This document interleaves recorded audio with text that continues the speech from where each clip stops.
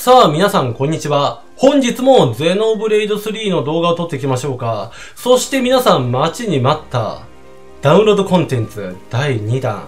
こちらが実装となります。いや、本当にね、待ちに待ったダウンロードコンテンツですよ。いや、今更ながらですね、ダウンロードコンテンツが第2弾配信されるっていうことで、かなりですね、ゼノブレイド界隈、盛り上がってるんじゃないかなというところですね。ゼノブレイド、引退してしまったわっていう人も、おそらくこのタイミングでかなり戻ってくるんじゃないかなと思ってます。いや、自分もですね、かなり楽しみでございます。いや、本当にダウンロードコンテンツ第2弾、結構ボリュームがあるみたいなんで、まあそういったところも踏まえて、かなり楽しみですね。さあ、そういったところで今日はですね、ダウンロードコンテンツ第2弾、こちらが出る前に、改めて第2弾の内容を確認していきましょうか。おそらく第2弾前の最後の動画になるんじゃないかな。おそらくそうなるかと思います。いやけど、ダウンロードコンテンツ皆さん購入されましたか？以前の動画でも話しましたが、残念ながらですね、ダウンロードコンテンツ第2弾買ってないと、有料アップデートが入らないんで、まあ当たり前ですよね。有料になってくるんで、無料ではないので、課金しないと遊ぶことができません。ですので、追加要素遊びたいぜっていう方は、エキスパンションパスの購入お願いいたします。希望小売価格3000円。確かね、もうちょっと安い値段で買えた記憶があるんだけど、一応希望小売価格は3000円、カッコ税込みとなってます。そして、もし初見さんがいらっしゃいましたら、ぜひこれを機会にチャンネル登録して、これからもゼノブレイド3の動画を見ていただければ幸いです。よろしくお願いいたします。おそらくゼノブレイドやってる方であれば、チャンネル登録しといて損はないと思いますので、ぜひ気軽によろしくお願いいたします。さてと、こちらの内容を確認していきましょうか。エキスパンションパス有料アップデート。で、まずは、ボリューム2っていうことで、全部でボリューム4まであるんですよね。ボリューム4、まあ、ボリューム4か、ボリューム4まであるわけなんだけど、今回の主な追加要素としましては、新たなヒーローとクエストっていう形になっております。で、ロボット型のノポンゴを使うメカ、このような見た目をした少女となってます。まあ、ロボットっちゃロボットではありますよね。ノポンが大好きで、ちょっぴり天然な性格、イノにまつわる新たなヒーロークエストを達成して、仲間にすることができます。おそらく強化もできるんじゃないかな。3章の途中からヒーロークエスト、こちらが受注できるようになりますので、こちらの、ま受注条件としましては、おそらく3章まで進んでいるっていうことが条件になってくるのかなっていうところですね。いやー、イノちゃん、めちゃ可愛いね。そして、イノちゃんが追加されるわけなんだけど、イノライズっていうものがですね、今作追加されます。イノは DX エーテルシリンダー。まあ普通のエーテルシリンダーではないんですよ。こちらで集めたハイエーテルと呼ばれる特別なエーテルを飲むことで、能力がなんとアップいたします。強化される能力は選択することができ、バトルのスタイルに合わせて、能力のカスタマイズが可能でございます。これがね、新しい要素なんですよ。ただまあ、簡単な話、以前の動画でも話していましたが、ウロボロスみたいな感じですね。で、順番に解禁されていって、まあ自分でカスタマイズをしていくと。まあそのような形になっております。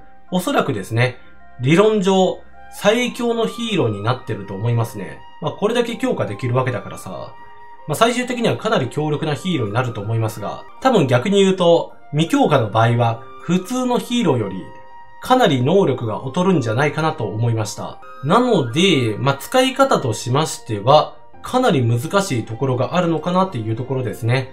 なので、ある程度強化しないと使い物にならないんじゃないかな。あーってビールじゃねえんだからさ。やばくないラッパ飲みってどうなってんだこれ。まあ、そんな感じでございますね。で、このイノライズっていう新しい機能なんだけど、基本的にはですね、こちらがやり込み要素となっております。ちなみにウエストめちゃくちゃ細いんですよ。これ怖くない逆に。手足も細いんだけどさ、ウエスト細すぎじゃない？いや、本当にこれ怖いわ。なんかもうちょっとさ、ふっくらしてる方が個人的には良かったかな。まあ、ロボットなんで仕方ないっちゃ仕方ないけど、ちょっと怖さはありますよね。この戦闘シーンとか見てると。なんか、ああ、な、なるほどね。ロボットだ、みたいな感じになっちゃうからさ。なんか、この上半身のところだけ見てみるとさ、めっちゃ可愛いんだけど、ちょっとデザインがあれだなと思いましたね。はい。まあ、個人的な見解なんですが。で、あとはですね、そう、新しいヒーローとクエスト以外にも追加要素がございまして、結構モリモリなんですよ。チャレンジバトル。こちらが追加される予定となっておりまして、強敵との連続バトルで腕試し。まあ、これはね、具体的にどこでできるかっていうところは、わかりませんが。あー、なるほどね。こんな感じなんだ。はいはいはいはいはい。で、タイムアタックか。へえ。なんかこれはこれで面白いね。しかもさ、なんかモンスターハンターみたいな感じで、S とか A とか B とかあるからね。なので、オール S を目指すみたいな感じで、こちらもやり込み要素となってます。で、なんとね、イージー、ノーマル、ハード、この3つから選ぶこともできるんですよね。なんかこれもすごく面白いですよね。まあどちらかというと、これがですね、やり込み要素になってくるのかなと思いました。はい。まあ戦闘好きな方からしてみると、まあ結構ね、面白い内容かもしれませんね、こちらに関しては。で、なんと、チャレンジ達成時にもらえるノポンクリスタルを集めると、新たな衣装やアクセサリーと交換することもできますっていうことみたいですね。新たな衣装っていうのは、おそらく水着ではないよな。多分水着に関しましては、あー違うわチャレンジバトルの報酬として入手できますって書かれてるわ。マジかよ。っていうことはさ、この水着をゲットするにはどちらにせよ、チャレンジバトルで勝たないといけないっていうことか。マジかマジかよ。なんかてっきりさ、これは得点で確定でもらえると思っていたけど違うんだね。なるほど。まあそういったところで、まあこのイノライズっていうのとチャレンジバトル。まあこちらを並行してやっていくって形になるかな。まあ言ってもね、ヒーロークエストに関しては一過性で終わってしまうと思いますから、まあ真のやり込み要素としましてはイノライズ、そしてチャレンジバトル。この二つになるかと思いますね。あとさ、新たな衣装って書かれていますけど、多分ね、水着以外も追加されることになるんじゃないかな。だってさ、水着って書かれていないから、新たな衣装っていう、まあそういった書き方がされておりますので、まあそれを考えると、おそらく他にもファッションが追加されるんじゃないかなと思ってます。いやー、これもこれで楽しみではありますよね。あと、アクセサリーに関しては、結構性能がいいものが手に入るんじゃないかなっていうところですね。いや、チャレンジバトルか。これもね、めっちゃ楽しそうではあるけど、なかなか大変そうではありますよね。うーん、どうなんだろうなっていうところ。で、冒頭でも言った通り、いよいよですね、配信間近となりました。またですね、配信されましたら、こちらのチャンネルで動画を投稿させていただきますので、もしよろしければ、これを機会にチャンネル登録して、これからも動画を見ていただければと思います。よろしくお願いします。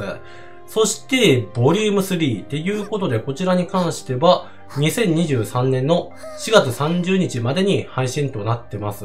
ただ、状況的にはですね、ボリューム2が意外にですね、早く配信されておりますので、まあ、それを考えると、おそらく、年明け一発目にやってくるんじゃないかな。まあ、下手すると、年末、まあ、例えば12月の3週目とか4週目とか、まあそれぐらいにやってくる可能性もあるのかなと思いました。で、ここでもですね、チャレンジバトルが追加されて、新たなヒーローとクエスト、で、新規デザインのファッション装備、こちらが手に入るみたい。ただまあこちらに関しましては、おそらくチャレンジバトルに勝利しないと、まあもらえないって感じじゃないかな。そして、ボリューム4っていうことで、こちらに関しては、12月の31日日曜日までに配信となってます。全く新たなオリジナルストーリー。なので、まあ、実これがね、本番って感じかな。ただね、ボリューム2の時点で、思ってるより、たくさんやることがあるようで、まあ、個人的には本当嬉しいですよ。なんかね、自分の予想では、あー、なるほど。ヒーローとクエスト、まあ、それぐらい追加かな。多分それプラスアルファ来ないだろうなって思っていたけど、結構やり込み要素がありますからね。なんかこれは本当に嬉しい内容だなと思いました。はい。まあ、そういった形でございます。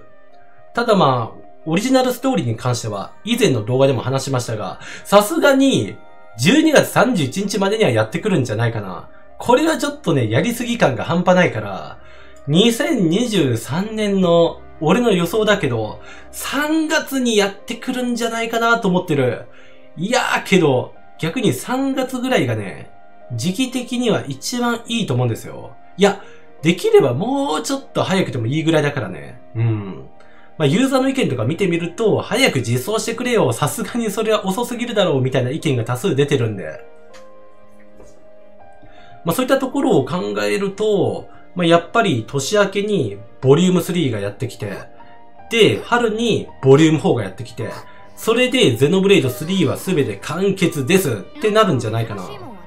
いやーけどゼノブレイド3もですね、ボリュームがあるゲームとはいえ、さすがにもう、やることがなくなってしまったよっていう方も多いですからね。なので、できるだけ早く追加してあげた方が、ユーザー的には嬉しいんじゃないかなと思いましたね。はい、まあそういった形でございます。